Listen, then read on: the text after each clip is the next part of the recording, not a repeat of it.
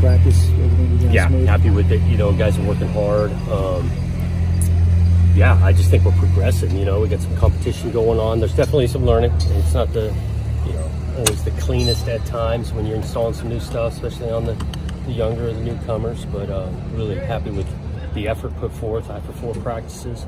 Um, and, uh, yeah, we got another one tomorrow. Did it appear to you when you had the team stuff that the offense and defense kind of even, neither one? Really Yeah, I think it's some good back and forth. Um, and I think that's been really for four days. A couple of good throws, a couple good runs that popped. I think we were around the quarterback a few times, probably sacks and was live, you know, so and that's what you're looking for in training camp, back and forth to be be pretty competitive. You, you had mentioned you were going to do more more reps, get split guys up more, and you've been doing a lot of that. How has that worked out? I think it's been great, you know, getting the other field, everybody getting opportunities.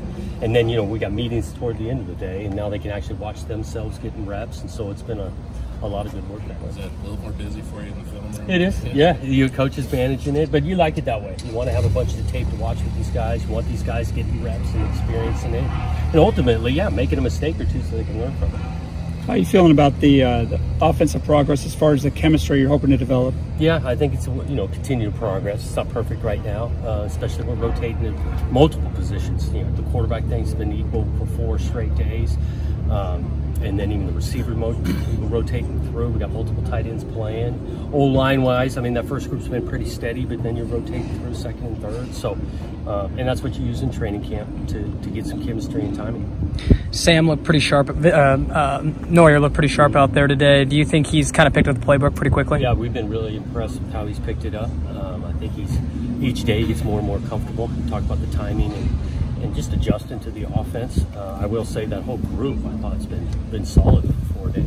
You know, made some plays with his feet and throws. Tristan leads the team down on touchdown drive today, and that continues to grow. So we like where that room's headed. You mentioned the touchdown. Beason made a nice catch on it. Just what have you seen? Yeah, so that's been decent. I mean, he, he's had a good camp, made some plays, uh, works really hard. You know, his precision in route running is there.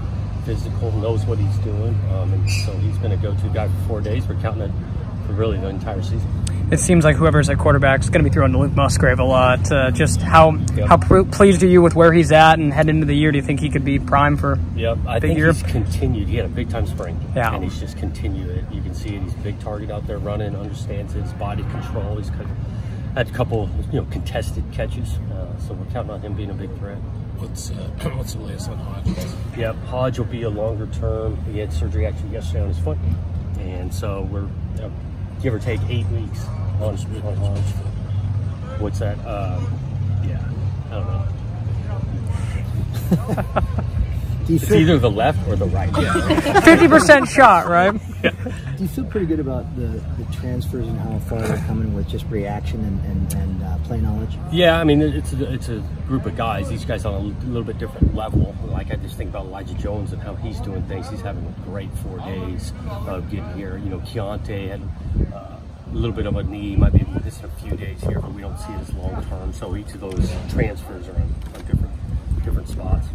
With this happening to Isaac early in the, early in camp, is it, I don't know if it's a blessing, but it gives you more time to kind Definitely. of work work around that situation. Yeah, yeah, and you know we're getting a lot of reps with the guys anyways. But yeah, I mean, and, you know it's college football. You need guys to step up at every position. Um, you know we got Tegan down currently. You know we got those younger guys stepping up. Jaden Grant, you know, not getting as much time right now, and got other guys stepping up. So counting on the D line doing the same. Could a guy like Tomasio get more reps on the D line as a result? I mean, next man up. You know Thomas, Alex. Obviously, we got Simon here, and James Rawls is having a really good Yep. camp. And then you know Keontae when he gets himself back, and Tavis Shippen, and so we got some other guys.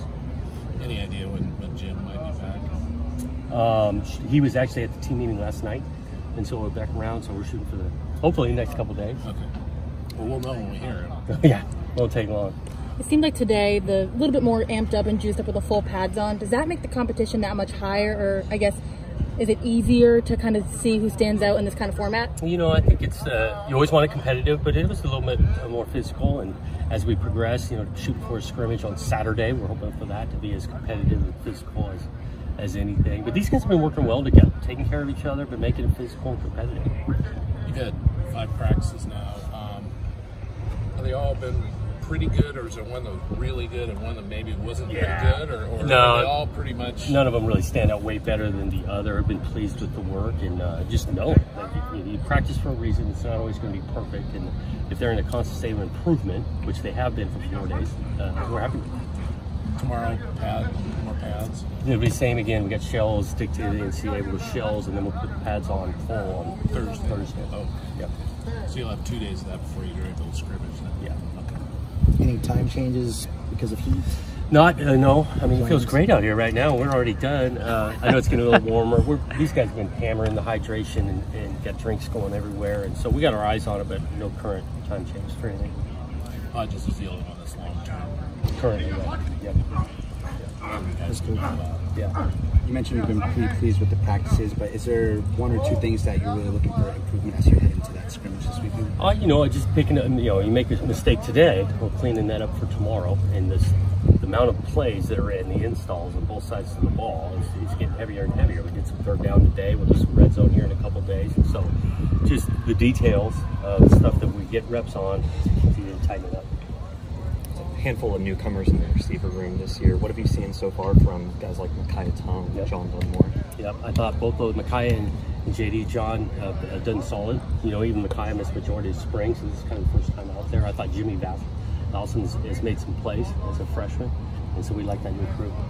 Kind of going off of that, how deep is that west wide receiver group right Well, now? Well, it looks pretty deep right now, but it's going to be competitive. I mean, we're going to play best guys, and so as that group currently might look at I don't know eight, ten guys, it's going to get tightened if guys begin to separate. And, uh, and we got some veterans. Bradford had a huge play today. We already talked about Beason, so that's a talented, competitive group.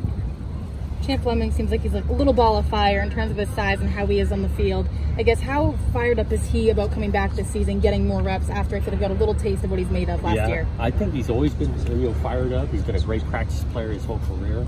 Um, he can do so many things, veteran, special teams included. Um, so he just adds to that depth of receiver. And he also made the number changes in the offseason. Is Yeah, there a reason gotta- for that or just, just because? You know, a lot of these guys, there's a bunch of them that change, and they want to change. It's available on. I'm fine with that.